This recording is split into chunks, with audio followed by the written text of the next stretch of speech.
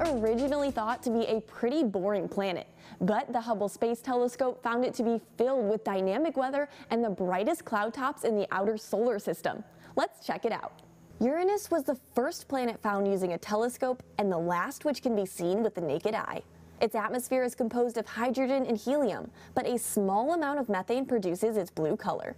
And you might notice something strange about Uranus. It spins the opposite direction as Earth, just like Venus, but it's the only planet that spins completely on its side, orbiting the sun like a rolling ball. This makes for very odd seasons. The poles experience 21 years of nighttime in the winter, 21 years of daytime in the summer, and 42 years of both in the spring and fall. When the dark side finally feels that heat of the sun after decades, it quickly warms up and causes huge, violent storms. Even though the poles receive that direct sunlight, temperatures at the equator are still warmer, and scientists don't know exactly why.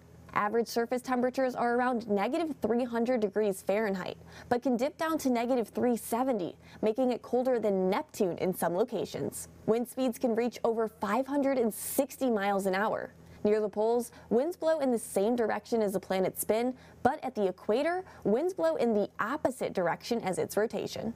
You can now see for yourself that Uranus is anything but dull, teeming with activity, but much too extreme to host life as we know it. Join me next week where we will zoom to the last planet in the solar system, Neptune. I'm First Alert meteorologist Zoe Mintz.